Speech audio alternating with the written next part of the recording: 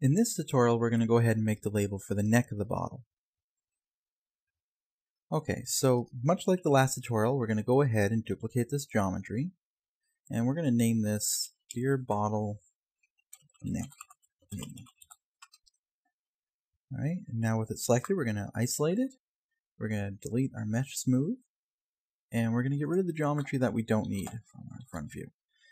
Okay, so we're not going to need everything up to about there, a little bit more to there and top of the neck. And also we're not going to need the inside. I'll use element mode to get rid of that.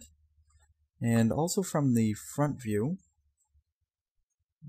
select our model there, uh, from the view with the label up front, I'm not going to need that geometry either. So right about that much there. Okay, so we're also going to need to unwrap this. So unwrap UVW. We're going to select all the faces. We're going to run a cylindrical map on this. We're going to go up into our edit mode and make sure that our UVs are attached and they're not because the seam is in the wrong direction. We're just going to rotate this seam 180 degrees. Make this close. Alright, to about there. We'll collapse that. And actually, I'm going to throw that UV unwrap on there one more time, just tidy up those UVs there. So all those selected, I'm going to use my gizmo tool, if you can see that far up. And we'll just stretch this out. Okay, and we'll just grab all that and we'll scale it down just to fit. Okay, so now we can collapse this. We can throw our mesh smooth back on there. And I know from the last tutorial that I need to scale this up by 1 in order to fit. Alright, and we're going to load up our material, and we're going to make a separate material. And while I'm here, I'm just going to go ahead and label this one. Um, label.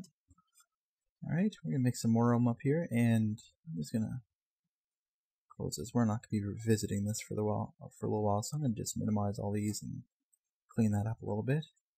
And we're not going to need this material much longer, but we'll keep it for now. Alright, we'll make a new material, mental ray, Arch and Design. And from here we're going to go ahead and bring in a standard bitmap, and this time we're going to grab the neck diffuse. Alright, we'll put that onto the diffuse color map. We'll set this to view and viewport, and this one to show hardware map and viewport. And select the material and a geometry selected and we'll set assign to material selection. We'll give it time to load, and there you go. And again, if I select my bitmap and turn off tile, well, it'll work this time because we turned on, oh, it didn't work this time. That's good.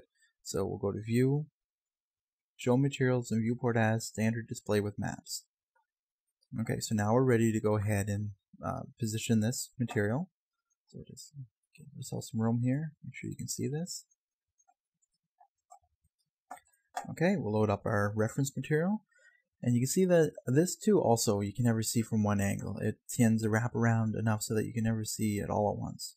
And it seems to almost be perfectly dead center within the, the neck and I would say there's even room on each side with about maybe two inches or so. About the same distance as the bottom of the beer bottle to the label starts to the neck to so it's pretty even.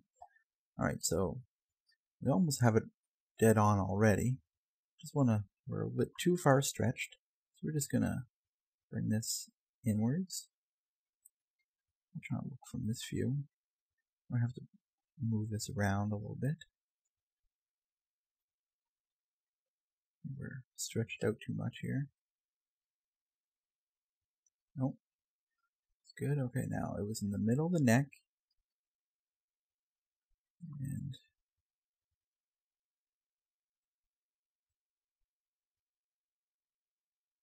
about there.